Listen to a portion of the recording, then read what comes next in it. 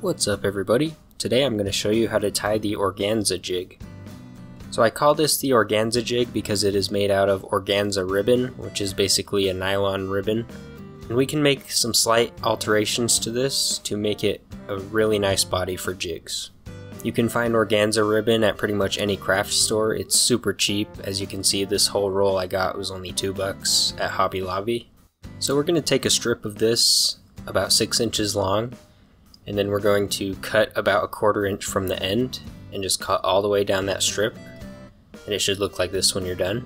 Now this ribbon has both horizontal and vertical fibers to hold it together.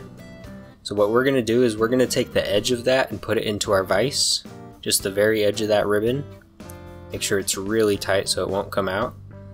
And we're going to remove the fibers that run parallel to the edge to do that, we're going to take our bodkin and just tease those out. And then once you've got them out, you can just pull them off. Now you can see that these fibers that are perpendicular to the edge will just stick straight out. They don't have any support, so they will just fly out to the side. So we're just gonna tease out these fibers, try to get all of them out. So that we just have the edge and then the loose fibers.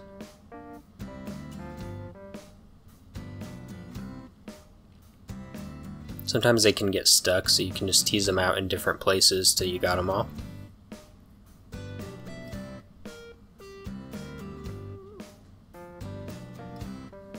There we go, that is what it should look like. And if you want, you can take all of the fibers out. I like to leave a little bit, just so it's held together well and you can see that those are just nice frilly fibers and they'll create a really cool body for jigs. Now that we've prepared our ribbon, I'm going to take a 1 16th ounce jig head with a size 4 hook. I powder painted it with ProTec pink. For our thread we're going to be using UTC Ultra Thread 70 denier in white.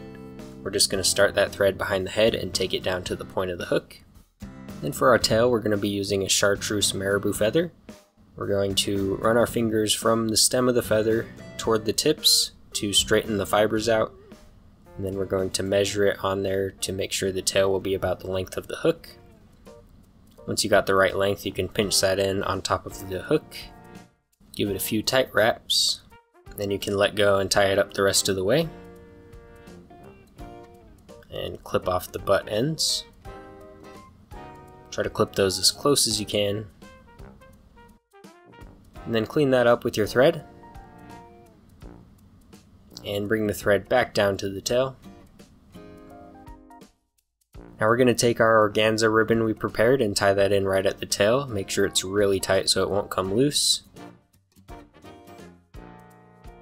If we used just that ribbon, the body wouldn't be bulky enough, so we're going to use some chenille under that to give it some bulk. So I'm going to use this Cascade Crystal Antron chenille in powder blue. I got this from Woods and Water Outdoors. Just going to tie a piece of that in at the head and wrap it down to the tail. Like I said, this will create a nice bulky body underneath that organza.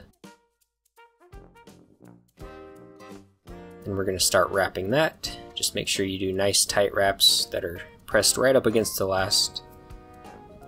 You want them to be packed tightly together so you don't have any gaps and that ribbon can wrap in between the chenille wraps. We're going to tie that in nice and tight at the head.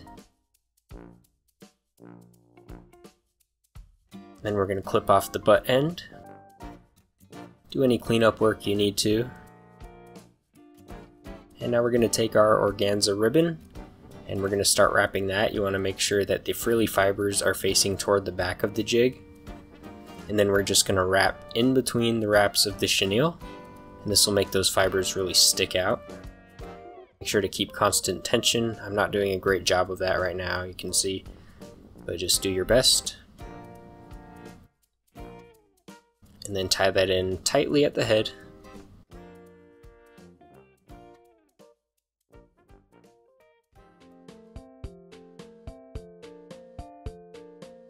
And clip off the butt end.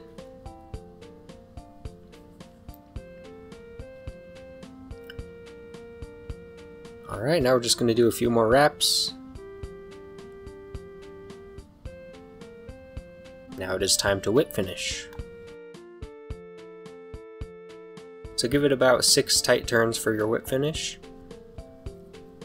Pull it tight and clip the thread. And there you have it. This is the organza jig. You can see those frilly fibers give it a really cool look.